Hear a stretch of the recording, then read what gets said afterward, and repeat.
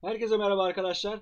Bugün sizlere Intel'in grafik kontrol merkezinden birazcık bahsetmek istiyorum. Aslında bahsetmek sebebim kayıt, e, kayıt olayından dolayı biliyorsunuz Intel'in artık işlemcilerin çoğunda grafik özelliği de geliyor. GPU özelliği de içine e, işlenmiş bir şekilde geliyor arkadaşlar. Şimdi ilk baş e, bir işlemcimiz bilgisayarında hiç bilmeyen arkadaşlar için bilgisayarın özellikler dedikten sonra marka modeline bakabiliriz. Ve bu marka modelinden işlemcimizin grafik özelliği var mı?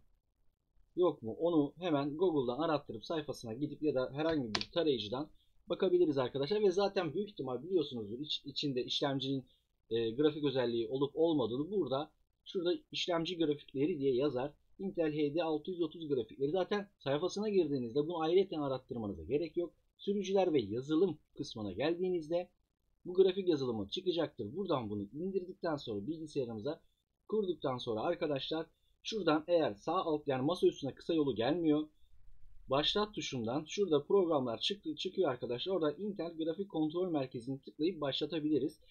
Ve e, kolaylık olması açısından buna sağ tıklayıp başlangıcı sabitle diyebiliriz. Benim şu anda başlangıçta sabitle gene gene aramamak için ki bu zaten e, buradan e, başlatabilirsiniz ve bu bilgisayar açıldığında başlayacaktır arkadaşlar. Eğer başlamasını etkin, etkin dışı bırakmazsanız o da görev yöneticisinden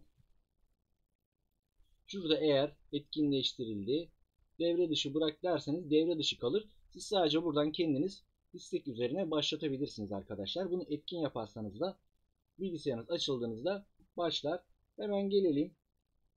Şimdi uygulamayı aslında ben OBS'ye falan birazcık daha alternatif olsun diye anlatıyorum. Intel kullanan arkadaşlar için ama şöyle bir berbat durumu var. Bunu en başta söyleyeyim.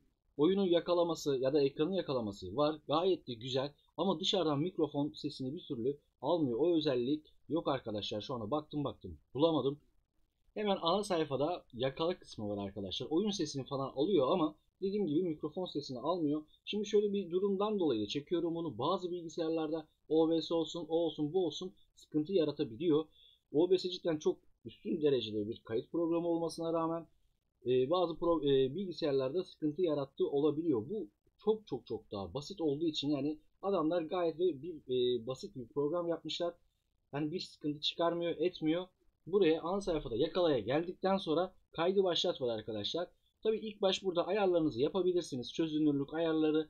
Bunu da söyleyeyim. Bu ayarları ne kadar yüksek tutarsanız dosya boyutu o kadar çok büyük olacaktır.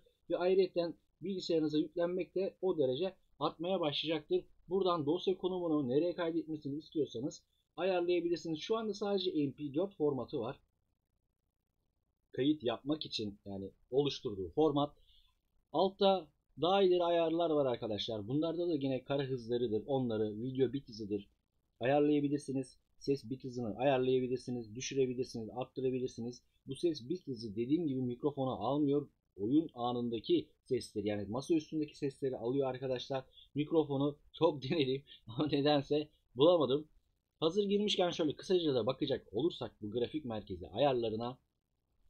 Burada ekran ayarlarınızı kendi monitörünüzün ayarlarına girmeden de e, şey yapabiliyorsunuz. Video ayarlarından parlaklık, karşılıklık bu gibi şeyleri arttırıp azaltabilirsiniz arkadaşlar.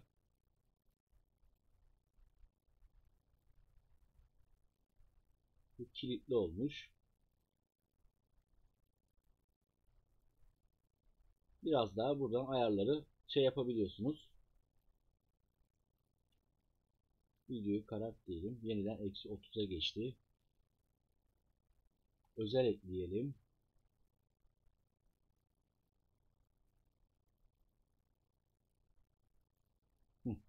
Şu standart renk doğrulamasını yaptıktan sonra onu fark etmemişim açığa getirdikten sonra bu ayarlarla oynayabiliyoruz. Onu kapatalım. Varsayılana geçelim tekrardan.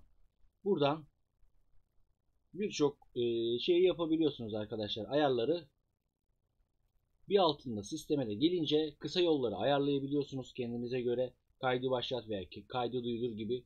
GPU'lar içinde hangi işlemci olduğunu gösteriyor. Grafik işlemcisi ve e, hangi direkt sürümlerini destekliyor onları gösteriyor. Donanımda işlemcinin saat hızı o tarz şeyleri gösteriyor arkadaşlar. Destek kısmında da en son grafik sürücüsünü onu bunu bulabilirsiniz arkadaşlar.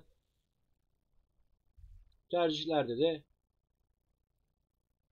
size gelecek bildirimleri ve e, sistem tepsisine küçültmeyi gibi tarzda şeyleri sunuyor. Bu neymiş? Temada şeyin temasını değiştirebiliyorsunuz. Grafik kontrol merkezinin arkadaşlar.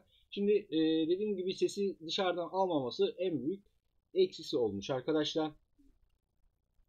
Onun haricinde işlemciye sahip olmayan yani e, işlem, grafik işlemciye sahip olmayan işlemciler için bu yazılım yok. Misal i3 9100'ün F'nin sürücü ve yazılımına geldiğimizde bu özelliği bulamıyoruz arkadaşlar. Fakat elinde imkan yok. Ee, imkan olan arkadaşlar bir deneyebilir, şeyi deneyebilir. Misal i5 7500 yazıp orada çıkıyor ya arkadaşlar grafik sürücüsü.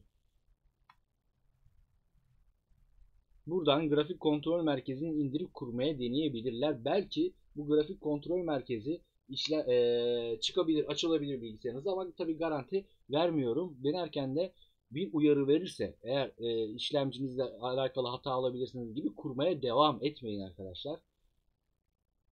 Ve ayrıyetten burada bu tarz işlemciyi kullananlar arkadaşlar için bu sayfayı çevir dediğimizde bakın burada kolay akış sihirbazı var. Eğer başka bir programla kullanıyorsanız OBS gibi olsun zaten parantez içine almış. Daha hızlı şeyler yapmak için buradan bunu da kolay akış sihirbazını da indirip arkadaşlar işlemcinizden daha yüksek performanslar alabilirsiniz kayıtlarda. Şimdilik anlatacaklarım bu kadar arkadaşlar. Tekrardan görüşmek üzere. Kendinize iyi bakın arkadaşlar.